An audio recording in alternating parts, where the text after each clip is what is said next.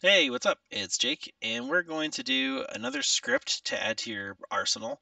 Um, and it's a different way to use a for loop and a conditional, and that's to find divisors. So if you're not familiar or don't remember what a divisor is, it's all of the numbers that can be evenly divided into something. So for example, 1, 2, 5, and 10 are all divisors of 10 because 1, 10, 2, and 5 all can be multiplied or divided in some way to create uh, 10.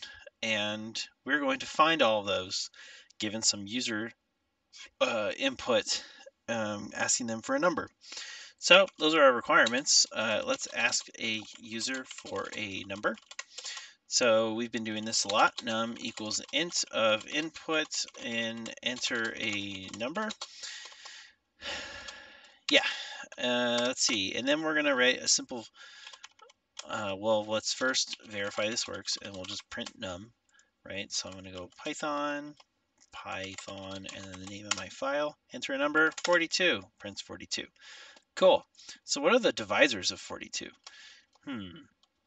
Well, first I think what we need to do is we need to create some sort of list, right? So I'm going to make an empty list, and I'm going to add all these numbers in here, and I check them.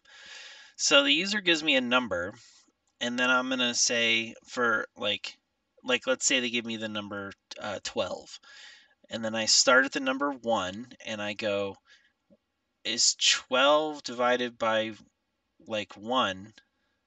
Is there a remainder? And if there is, then that that's that's not uh, a divisor right? So if I did like 12 divided by 5, there would be a remainder of 2, and so that wouldn't be counted. But 12 divided by 4 is 3, and there's 0 remainder, so I would add 4, append this list with that uh, element 4 of the sequence. Hopefully that makes sense. So let's see what that looks like. So I'm going to say um, for each for each number in in the li- first let's let's let's figure out how we how do we how do we get a, a list of numbers? So i think that what we need to do is we need to make a range and we can't divide by zero. So instead of giving it like a number like uh, num because that'll be zero through uh, whatever the number is not including that number itself which is a divisor so we have to include that. So uh, to include that we would do num plus one. So if i entered 8 as a num and I did range 8, it would do 0 through 7, but I want it to do 1 through 8. So I'm actually going to pass two numbers to range. 1 is my start, and then my stop is going to be num plus 1, which will be itself, uh, right? So because if I if I did this, right, if I set this range, and I just give this a variable name and then print it out, let's see what it does. So print x. All right, enter number 42. So we can see range is 1 and 42. So that's what we want. We want the the stop to be, or the this to here and this to here. Now we remember in range, when you iterate through it, that this is the stopping point, so it's not going to include this. So we actually need to add uh, uh, 1 to it so that it stops one higher and will include number 42. Remember when we iterate that that's how this is going to work. Um, and so, so if I made a list, right, if I made a list out of this, we can see what this does. Uh, let's do a smaller number, 8. 1, 2, 3, 4, 5, 6, 7, 8. Now, if I didn't add this plus 1, what's going to happen? Ah, now we're missing the 8, and that won't be correct. We need 8 because 8 is a divisor. All right, so we have our we have our list here, right? So I'm going to get rid of these things that I was using to test.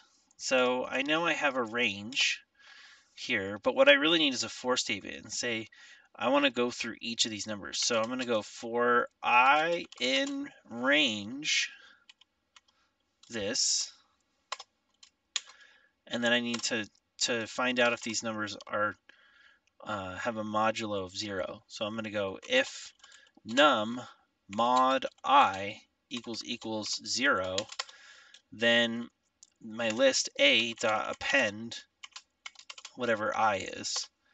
And if not, then don't do anything. And then at the end, print out my list. So this is this is one way to do it. So let's go back to the top and see what I'm doing. So I'm going to create an empty list, and then I'm going to create a variable that's an integer by taking some number as input from a user. And then I'm going to say for every number, one through whatever that number is, if, if uh, starting at one, that number can be divided evenly with no remainder, add it to this list. And if not, then don't do anything. And then at the end, go ahead and just print out this list. So let's see what we got. Let's see if this works. So if I enter the number 8, 1, 2, 4, and 8, those are all divisors of 8. If I enter 12, 1, 2, 3, 4, 6, 12. If I enter the number 562, it'll give you all of the numbers, and you don't have to be good at math to be able to figure this out.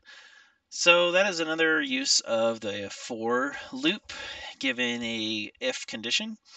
And I hope this is helpful. These are the, exactly the type of scripts that you'll probably end up writing um, when you're trying to manipulate data and create something usable for yourself. So let me know if you have any questions, and if not, I'll see you in the next one.